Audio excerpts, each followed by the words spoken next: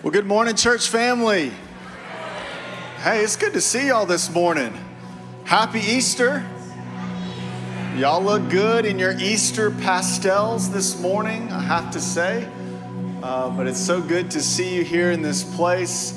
Uh, if you are new here this morning, uh, my name is Corey, one of the pastors here. I just want to say a word of welcome to you. We're so grateful that you're here. And uh, you need to know that we are not a perfect church. This is a church uh, composed of sinners and broken people saved by the grace of God. And so we're just grateful to be here. That's why we gather. That is our aim and our direction here this morning to worship Jesus once again. Uh, we're going to start a little bit different than we normally do. Um, we've got a, a special song that we want to share with you. It's called blown away. And the lyrics to this song are incredibly powerful, but uh, I just want to, we just want to give you an opportunity. I think so oftentimes in the Easter season, it's just busy, if we're honest, and it's hard to get here to church. It's hard to get your family dressed and ready to go and checked in the kids' uh, department and get parked and all the things that you have to do. It's, it's kind of a rush to get here.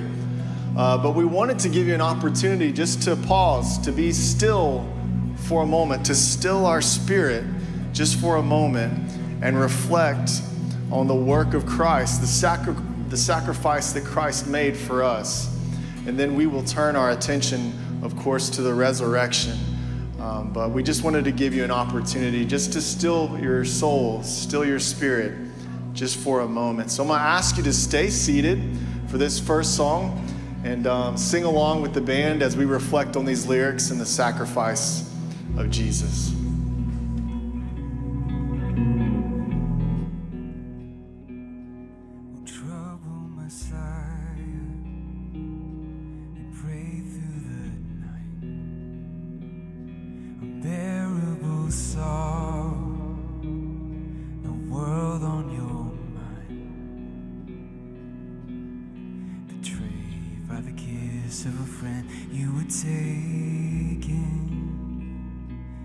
By your own free will, rejected and disowned by those you came to heal.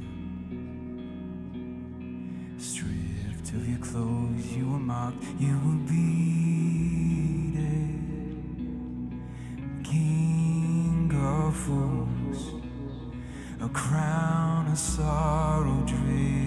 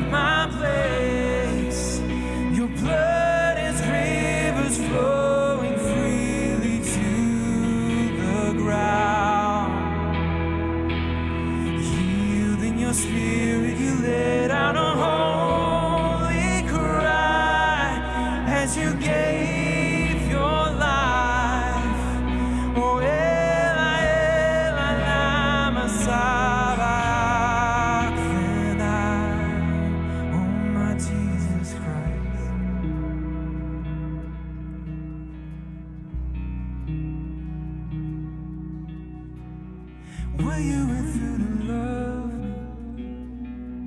I never understand my mind away. You do it all again. Amen, church. Would you stand with us as we continue in worship this morning? We look back to the cross, but we also celebrate an empty grave today. And it's because of that hope that we sing and we lift our voices together. Would you join us as we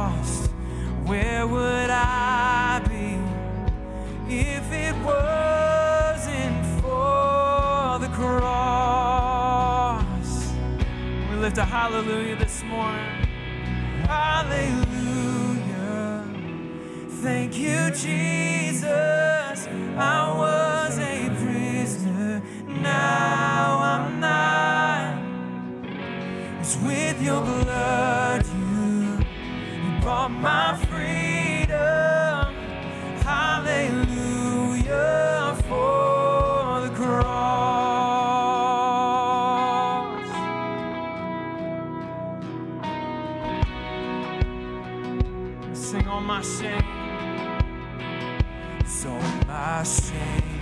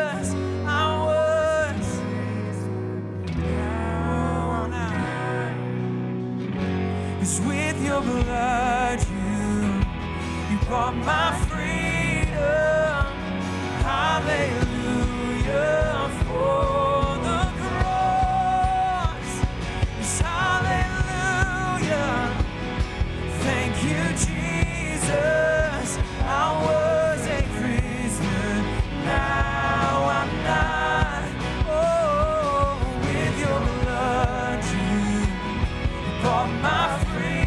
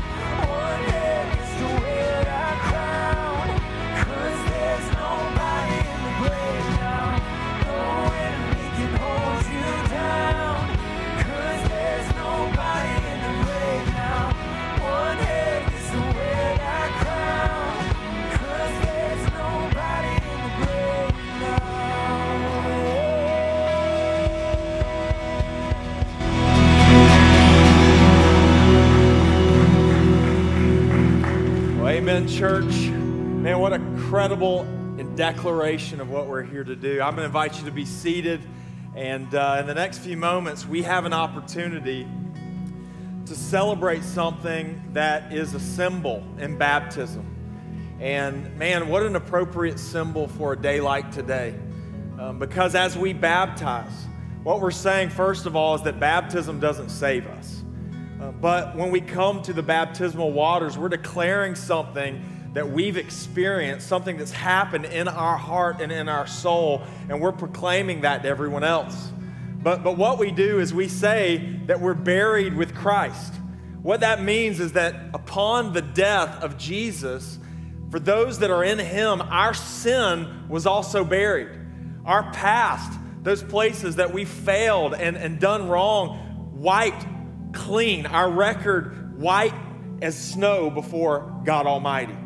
And then we do another thing. We say that we are raised to walk in newness of life because at the resurrection of Jesus, we have a down payment of a future and a hope with Him as He sits at the right hand of God the Father and He rules and reigns. The Bible says that for those that are in Him, we also will rule and reign with Him. And so, an appropriate symbol, an incredible day to celebrate it. And I get a very special opportunity to baptize two dear brothers to me, guys that I've known uh, most of my life. And so I want to invite up Joey and his family and Jimmy Lenartz and his family, if you will.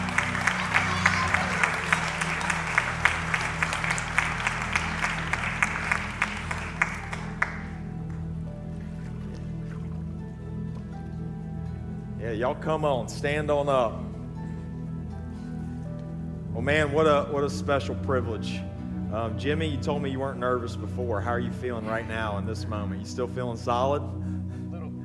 okay. All right, man. Jimmy is is a dear friend, and um, and man, he's been through a lot, and he's had a long journey. Um, but what I have seen recently is that God has totally revolutionized his life and his heart. Uh, just, I, I see it in the evidence of, man, your hunger for the word, the way you're endeavoring to lead your family. I know without a doubt that God's going to honor that. And so, Jimmy, just as you come for public profession before your church, I just want to ask you two questions. Number one, do you believe that Jesus Christ did everything necessary for your salvation? And number two, not only is he Savior, but is he Lord? Wherever he tells you to go, you're going to go. Whatever he tells you to do, you're going to do. Well, upon this profession of faith, man, it is my great privilege to baptize you in the name of the Father, the Son, and the Holy Spirit, buried with Christ, raised to walk.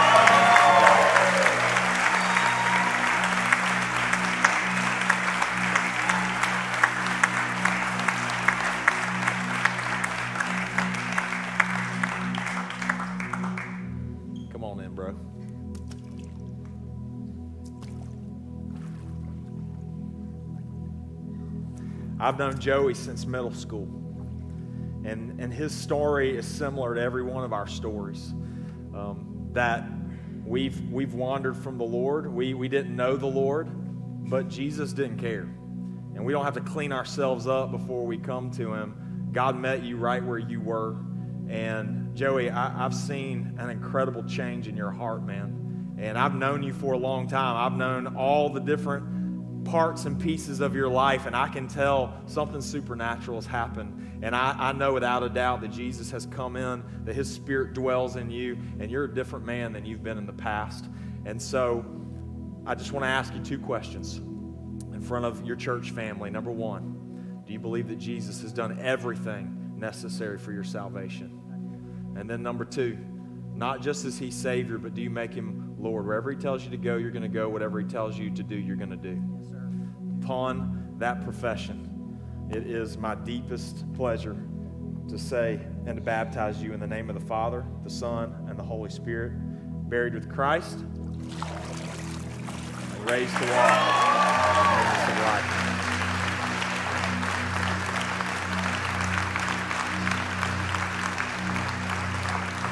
You can sit right here, man. Let me, let me just pray.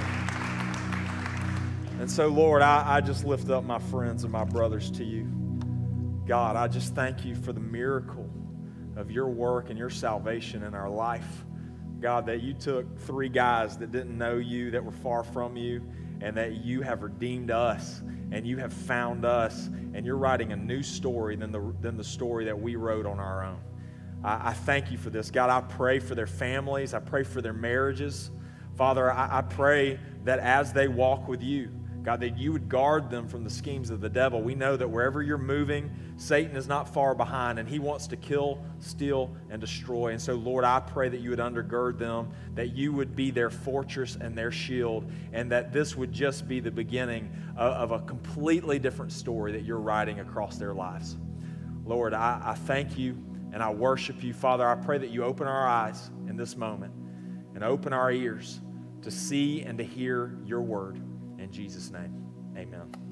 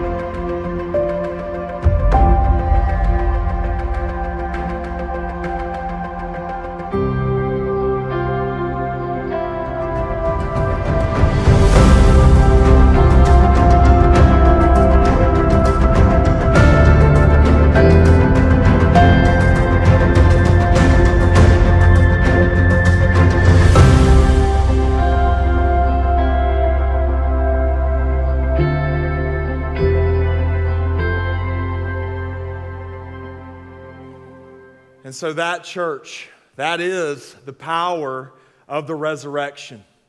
People from every walk, stage, and background, restored, redeemed, reborn, renewed in Him. And what we understand is that Jesus is no longer in the grave, but He is alive. He is ruling. He is reigning. He's saving. And He's walking with those of us who are found in Him. That's my story. That's many of your stories. And so we gather in this room to celebrate, and we celebrate with full hearts and souls that are just overwhelmed by the goodness of God to us through His Son. You know, Easter is not just some Christian holiday, it is the center point of our faith. It's not simply something that happened in history, but it is a reality that we are experiencing in a personal walk and relationship with the very God who created the universe. And so the resurrection, it is our hope. It's our strength, it's our healing, our assurance, it's joy in every season and situation and circumstance that life brings. Because what we understand is that because He lives, Whatever we face, whatever we lose in this life, we will gain it a hundredfold in the life to come with Him. And so we gather in this place, and I just want to say from my heart to yours, happy Easter.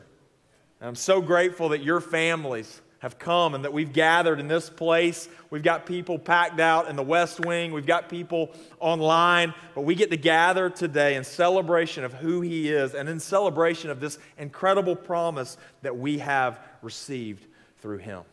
If you will, turn with me in your Bible to John chapter 20. We're going to be in verses 24 through 30 today. We're going to use that as a launching point for, for our discussion. Uh, and, and I just want to say this as you turn there. There are certain things in life that we know to be true in our head, but we still find it hard to comprehend as they unfold. It's like I see it with my eyes, but it's hard for me to just really believe and to see it and to understand that it's happening. I don't know about you guys, but I was tuning into Netflix just the other day and I was watching a documentary on a lady named Diana Nyad. Anybody familiar with her? She was a long distance swimmer, but in her 60s, there was this one goal that she never met that was just sort of tugging at her. And that goal was that she had always wanted to swim from Cuba to Florida 110 miles. Currents, temperature, jellyfish, storms, sharks, no shark net. And as I watched this documentary unfold, I watched her get into the water. I watched her one arm over the other. But still, as she landed on the beach of Florida, and as she walked up the sand, she looked like she had been swimming for 110 miles. But even though I had witnessed it, I could not in my mind grab a hold of what she had done. Maybe you've had that experience. Maybe it was an incredible tragedy. Maybe it was breathtaking scenery. Maybe it was the birth of a child. I remember my wife carrying all three of our children, and, and all of a sudden you're watching this little baby bump, and, and poof, you have a real life human being in your arms. It, it's an amazing thing. And it's something that we all experience in this life as a part of our story.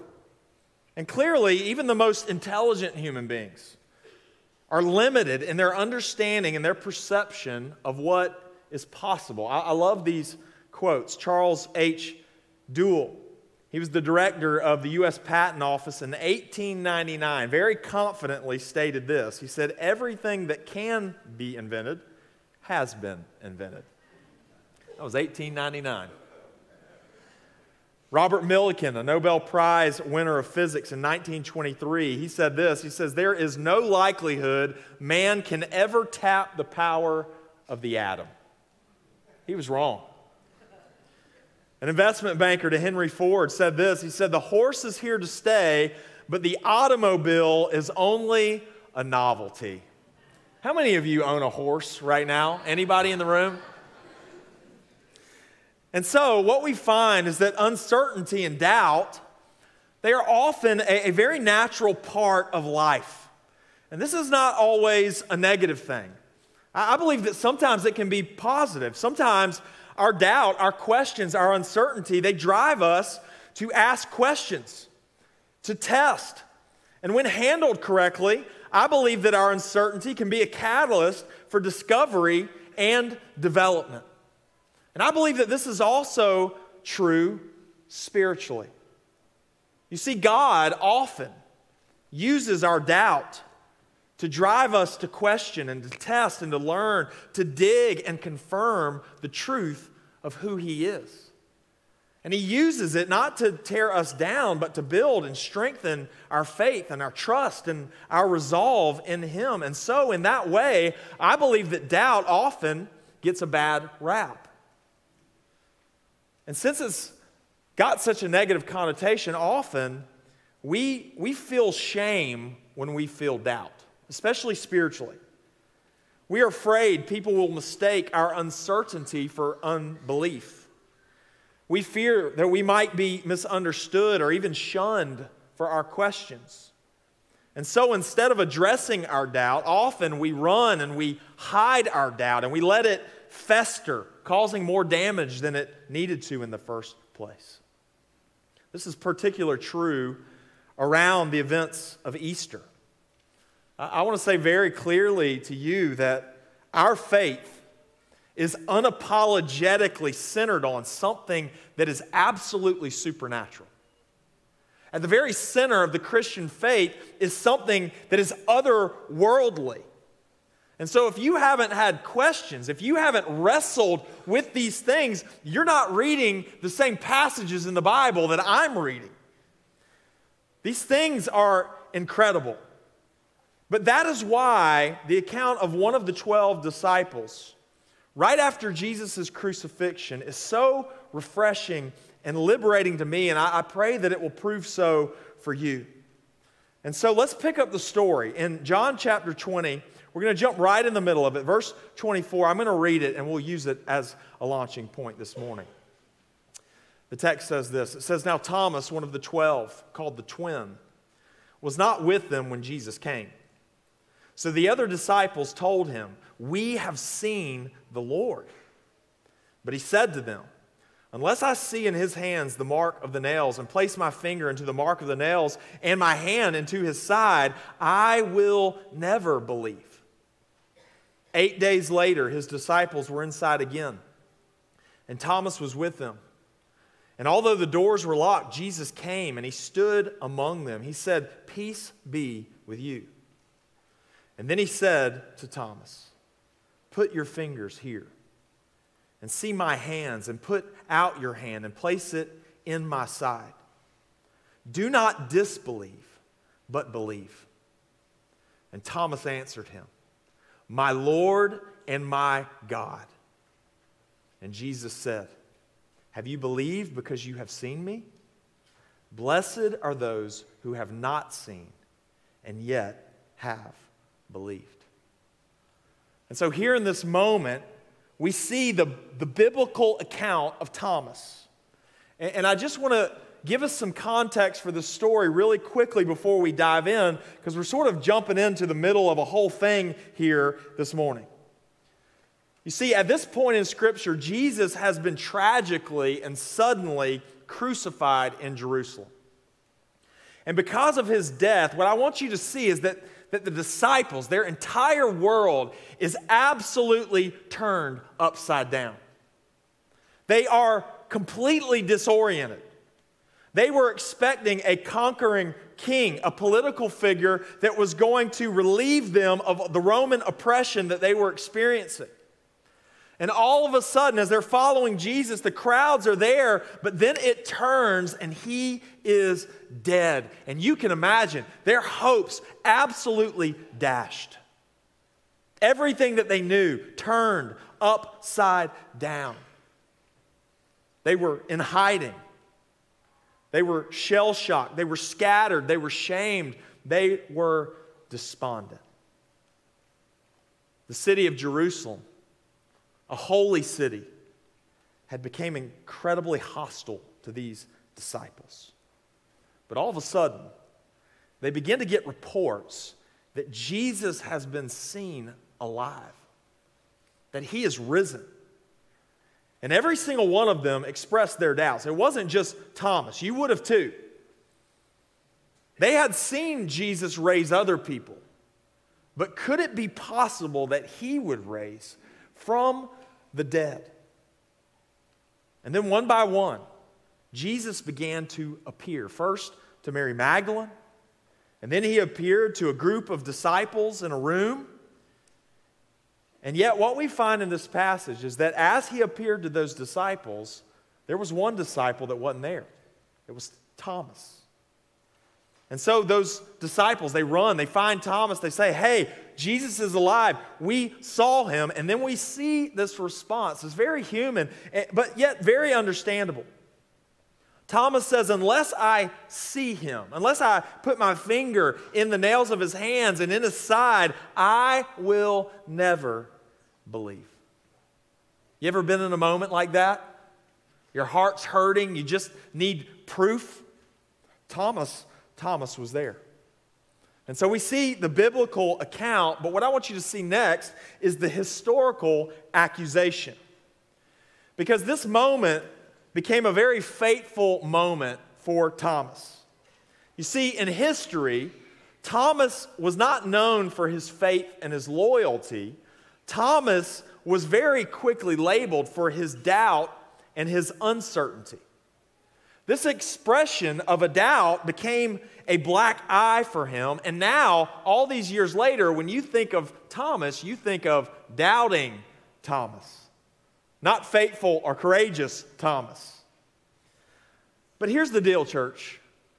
I, am not sure that that negative reputation is fair or biblical or even helpful for us.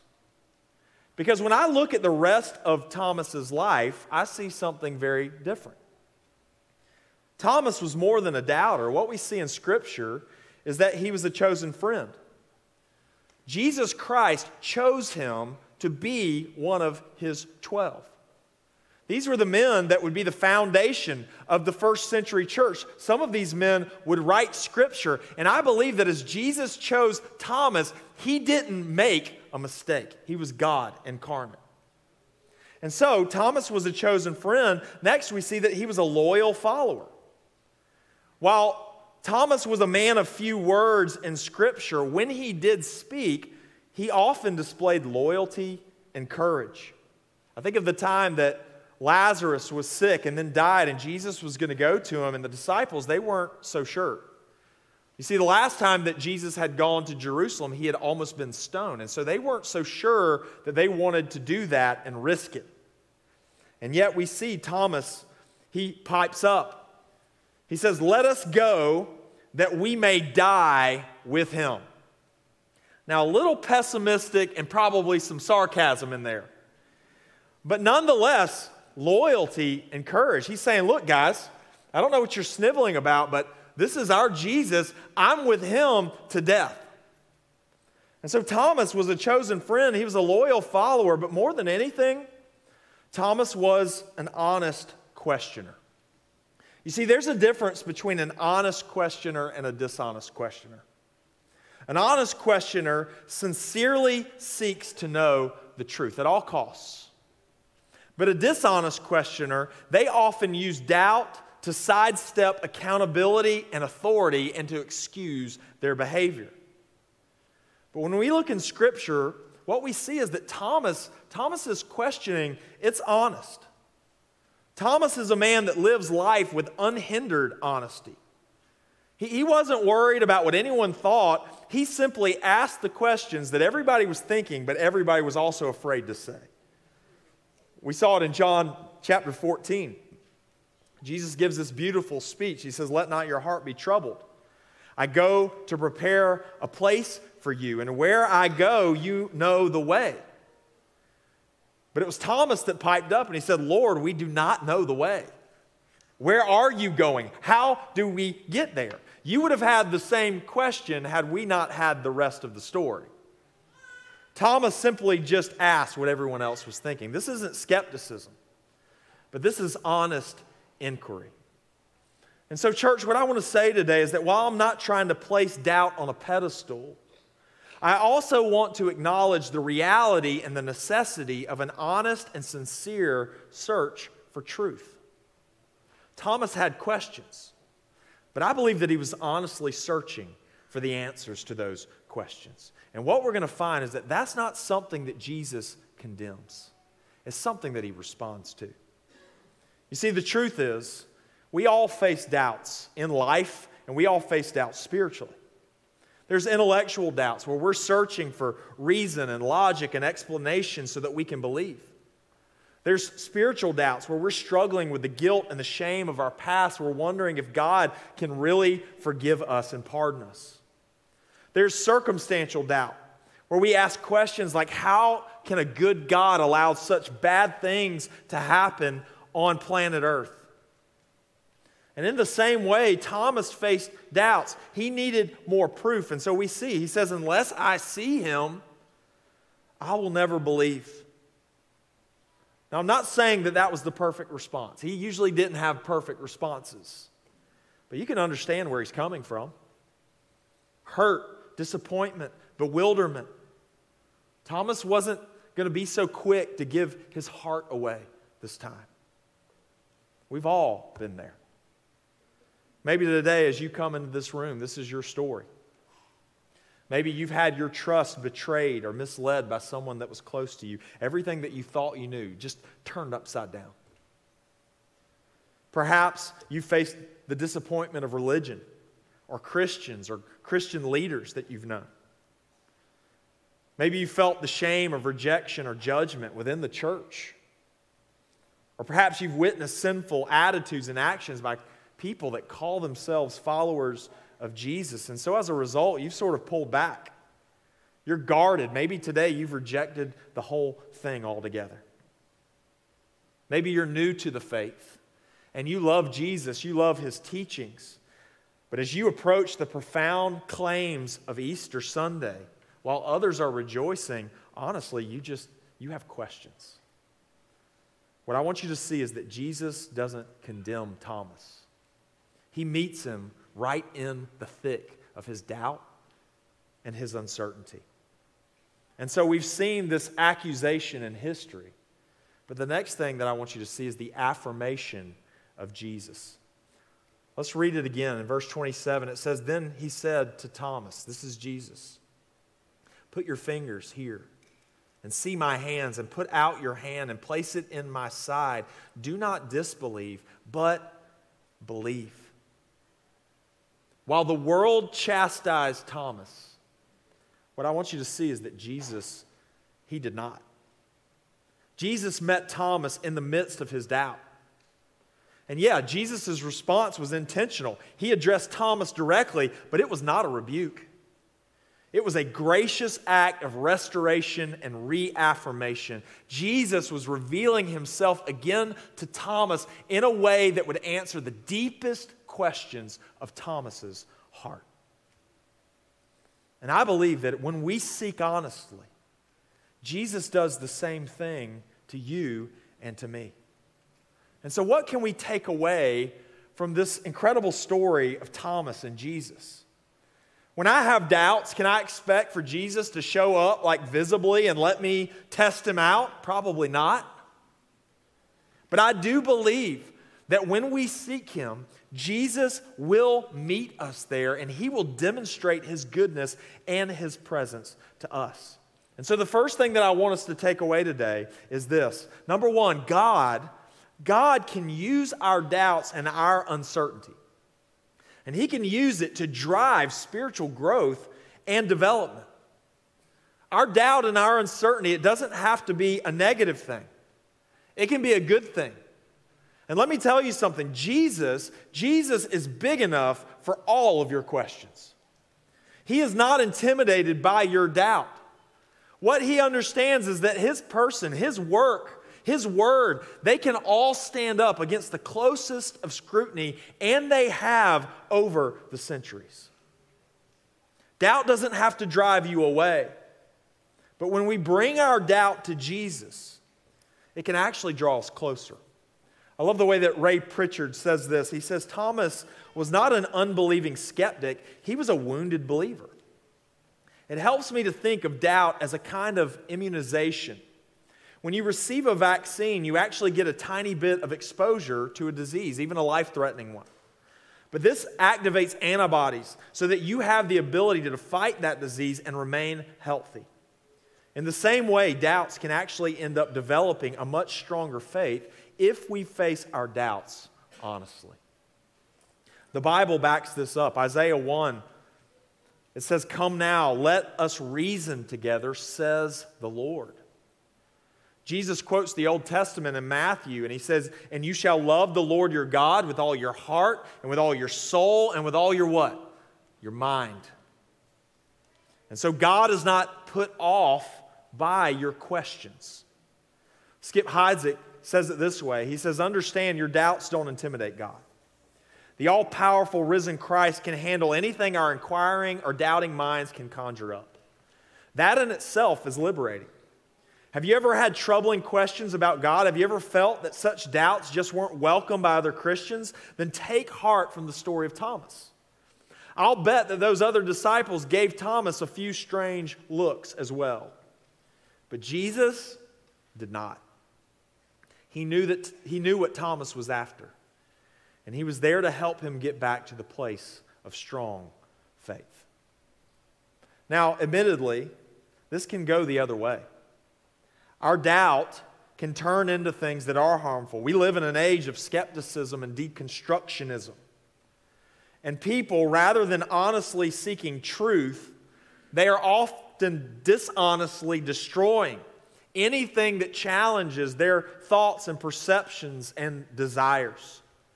And this is not honest questioning, and this is not honest God, but sincere seekers need not be too ashamed of spiritual questions. Because at the feet of Jesus, our questions can be a launching pad for spiritual growth and spiritual truth. And this is especially true when it comes to the resurrection of Jesus Christ. You see, the resurrection is not a minor doctrine. You can't be a Christian and not hold fully the resurrection of the Savior. I love the way that Pastor Adrian Rogers says it. He says the resurrection is not merely important to the historic Christian faith, without it, there would be no Christianity. It is the singular doctrine that elevates Christianity above all other world religions. And so when we approach the resurrection, we, we often have questions, but what I want to tell you today is that God knew you would have those questions, and He has left us plenty of historical evidence. You know, so many people, when it comes to the Bible, they want absolute 100% certainty. But the truth of the matter is, is that's an unfair expectation of any historical document. A historical document isn't tested, any historical document is not tested empirically through the scientific method. All of history is tested through a different method called the historical critical method. And what that method does is not put Jesus in a test tube, but it takes the documentation through history and, and it confirms if it's valid, if it's true, if it's close to the eyewitness testimony, if the eyewitness testimony was believable and holds water historically. And what we find is that when we approach the New Testament and when we approach the Bible as a whole, it is a miracle of solid historical evidence. I want to remind you of the things that, that validate our scriptures. Number one, it's the accuracy of the historical documents themselves. One commentator said this he said, New Testament scholars have an embarrassment of riches compared to the data that the classical Greek and Latin scholars have to contend with. The average classical author's literary remains number no more than 20 copies. We have more than a thousand times the manuscript data for the New Testament than we do the average Greco Roman author. Not only this, but the extant manuscripts of the average classical author are no earlier than 500 years after the time that it was written. For the New Testament, it's merely decades. What is he saying? Well, because the New Testament has thousands of thousands of manuscripts, we can actually trace that documentation to within a decade of the eyewitness. In a historical critical method, that is a lock solid case. So we can trace the documents. We can see all of the accidental blemishes, anything that might have changed. And what we know is that when we come to this scripture, historically, it is 99.99% the exact implementation of the eyewitness account. It's phenomenal. There's no other history book like it. And so there's the accuracy of our documents, but also there's the reality of the Old Testament prophecy. You see, the events of the death, the burial, the resurrection of Jesus, they were foretold hundreds of years before they occurred. 400 prophecies telling the events of Jesus' life in detail. Statistically impossible for one man to meet all of those qualifications. In fact, those prophecies are so detailed that that people who didn't love the Bible, they often would say, well, the disciples had to go back and they had to have edited a book like Isaiah to fit the Jesus account. That sounded believable for a little while, but then we found the Dead Sea Scrolls. And that backed our earliest manuscripts up hundreds and hundreds of years before they ever said that that would be possible. And so it's not just the accuracy of our documents. It's the reality of Old Testament prophecies. It's also the testimony of eyewitnesses. In history, in order for a document to be valid, it needed eyewitness documentation. And what we find is that in, that, in, in the documents, in all of that trail of copies, we see that the resurrection of Jesus was witnessed by over 500 people. Some of them were his disciples. But there were many others who were antagonistic to his ministry, but all of them give the same story Jesus seen alive, resurrected. Last but not least, there's the activity of the disciples. I think Erling C. Olsen says it really well. He says, Whoever reads the New Testament seriously or gives thought to the impact which the apostles made upon their generation, must acknowledge that one outstanding historic event alone spurred that small band of 11 ordinary men to an amazing task of evangelism in their generation.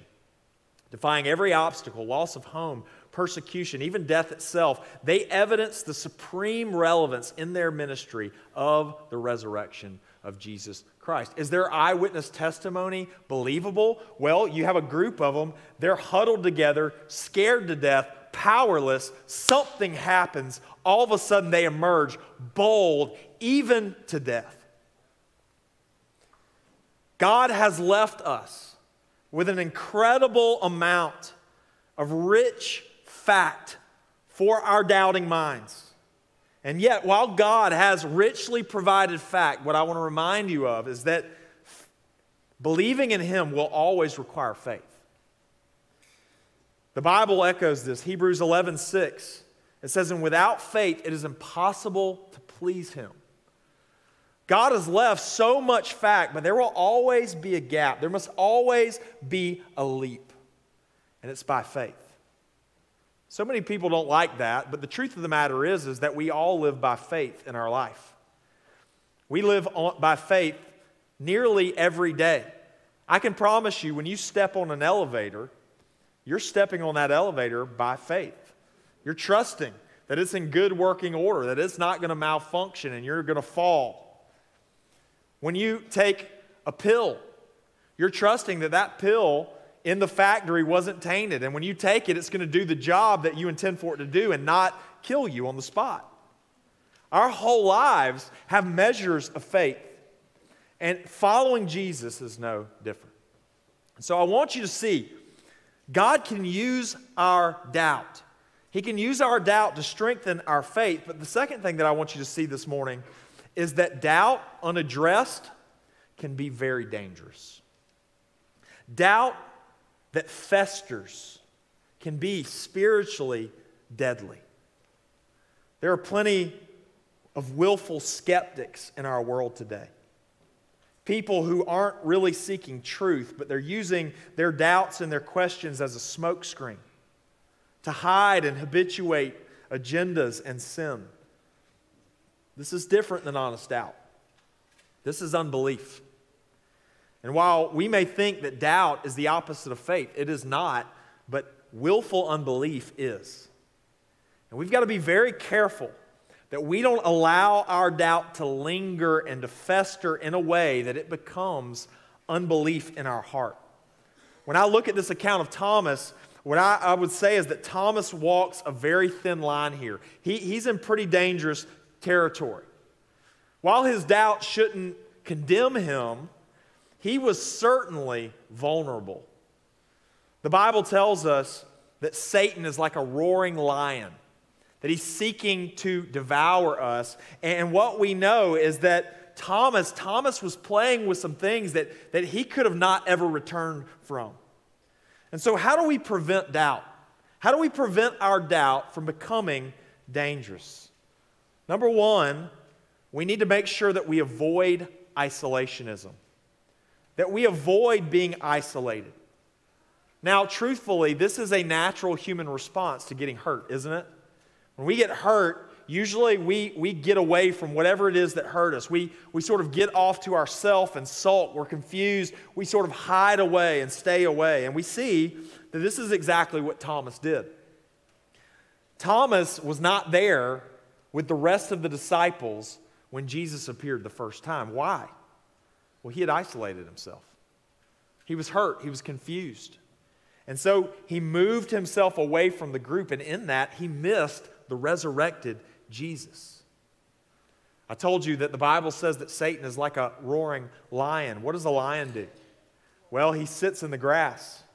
He waits for a member of the herd to get separated, and then he goes in for the kill.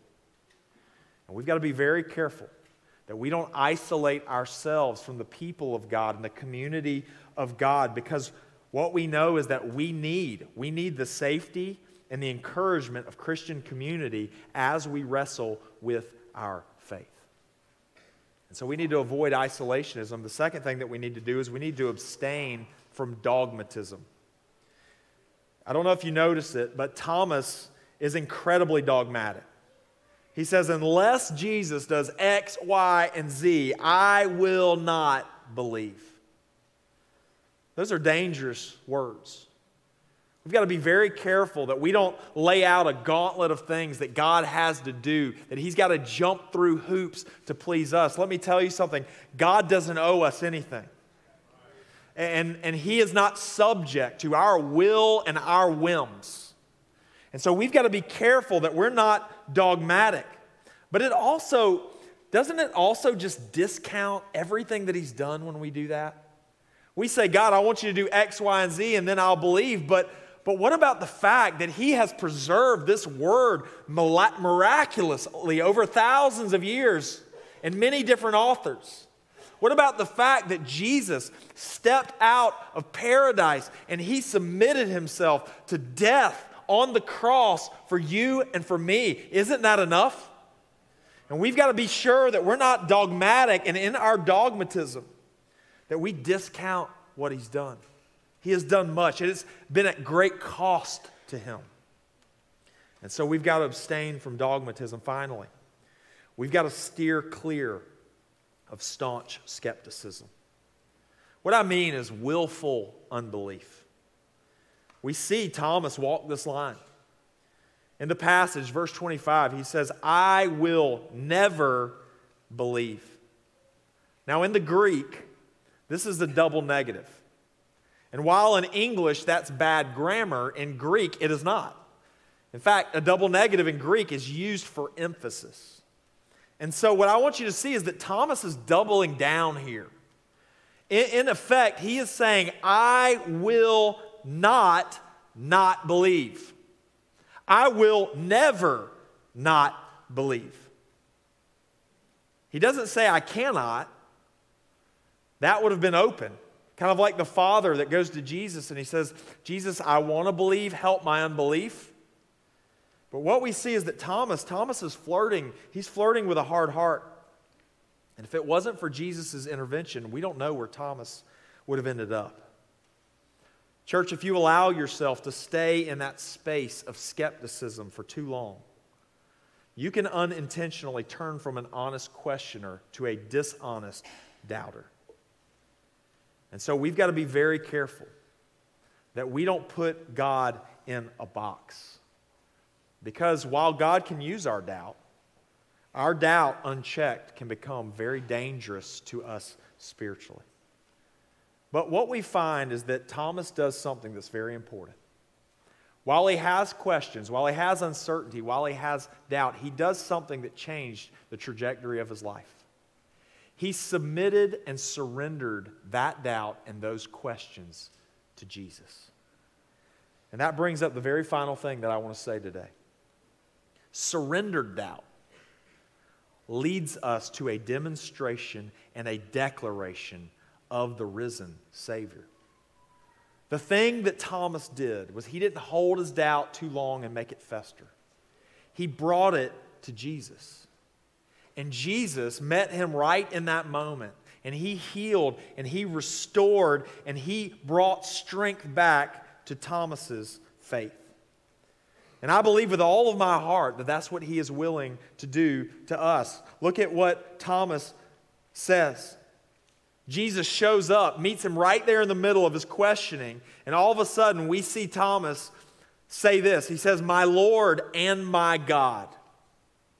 That's very specific, that's very definitive. There's no doubt left in Thomas. He's very clear. A demonstration of Jesus led to this incredible declaration from Thomas, and what we find is that that changed the trajectory of Thomas's life. History tells us that Thomas was the greatest missionary out of all 12 disciples. Have you ever wondered why we don't hear a lot from Thomas in the rest of the New Testament? It's because Thomas took the gospel into Syria and Iraq and Iran and ended up into India where he was martyred for preaching the resurrected Jesus. That was not doubt, that was certainty.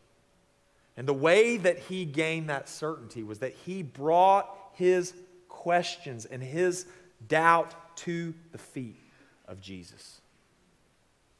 That's my story. When I was a young man, I grew up in a Christian household.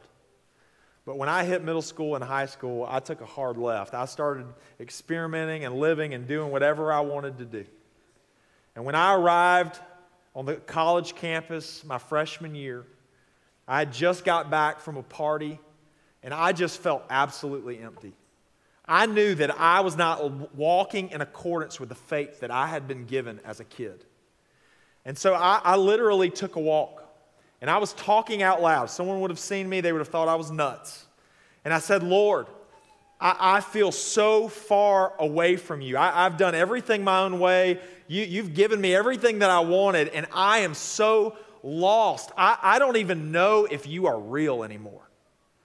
And I can promise you that in that moment, as I sought the Lord, Jesus met me on that college campus. It wasn't visible, but it was in a way that I was certain. And He answered the deepest questions of my heart, and my life has never been the same since. If we'll take our doubt to Jesus, He will meet us in our doubt and He will deliver us, and He will change our declaration. We will see a demonstration of who He is, and it will change the trajectory of all that we are and we, and we become. If that's you today, my prayer is that you would test me on this. Jesus is big enough for any question or concern that you have. You just got to bring it to Him. Let's pray. And so, Father, Lord, we rejoice in this very real and human account of one of your disciples. And Lord, I, just thank you that you included it in this book. You didn't have to do that. But God, it speaks to me. I, I'm wired like Thomas. often I have questions and I'm looking for proof and assurance. And God, that isn't something that you condemn, but it's something that you meet us in the middle of. And so, Lord, I, I just pray that if there's anybody in this room who doesn't know you, I pray that if there's anybody in this room that's listening to the sound of my voice and they realize that their doubt has led them away from Jesus, not to Him, I pray that today would be a new day. I pray that this could be a day of salvation for them because, God, your promise in Scripture is that if we seek you, we will find you. And that we don't have to clean ourselves up to come to you, that you will do that for us, but we're to come as we are, that we're to lay everything down, that we're to surrender it at your feet, and that God, you will move in, that you will reveal yourself, you will restore, and you will redeem it. And so, Lord, if there is someone in this room that does not know you, I pray that today they would not leave this room without bowing the knee to you, surrendering to you as Lord and Savior, and inviting you into their life and in their heart so that you can begin your restorative work. God, you, you have a new path, a new future for us. And Lord, I pray that we would walk in it. God, let Thomas be an encouragement to us today. In Jesus' name, amen. I want to invite you to stand.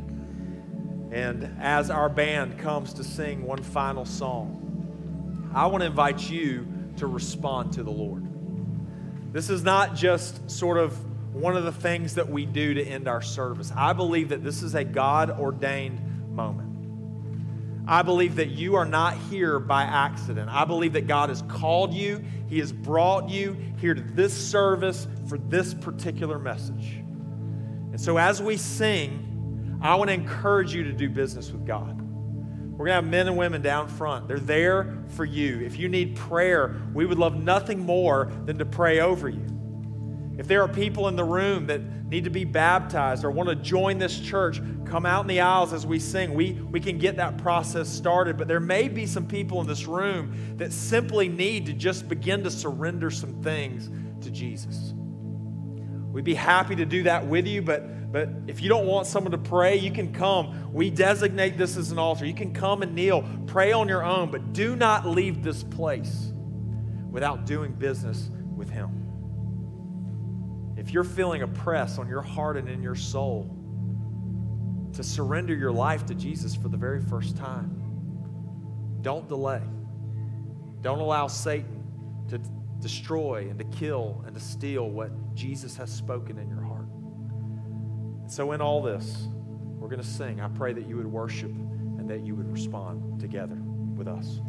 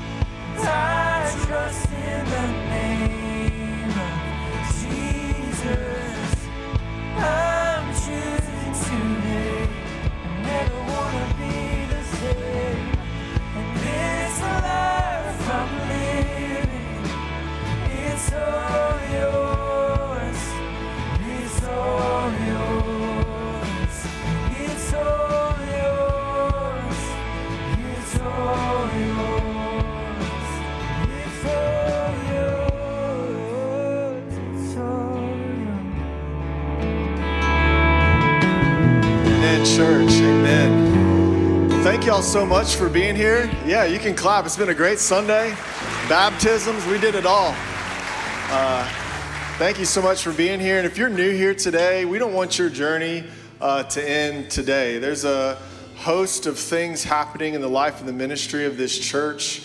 We've got a new sermon series on Jesus that's about to ramp up in a couple weeks. We've got a worship night that's happening. We got vacation Bible school that's happening this summer.